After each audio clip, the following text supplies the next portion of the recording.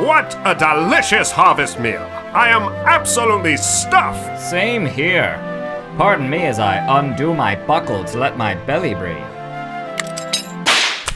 Oh, yeah. Oh, let it all hang out. Oh, we are no longer being persecuted. And it feels so right. Oh, so good. Seems we're all out of cranberry sauce. But who wants a raspberry? Frog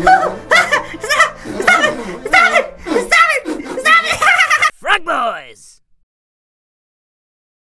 Why those pilgrims wear those buckles? Why those pilgrims wear those buckles? Why those pilgrims?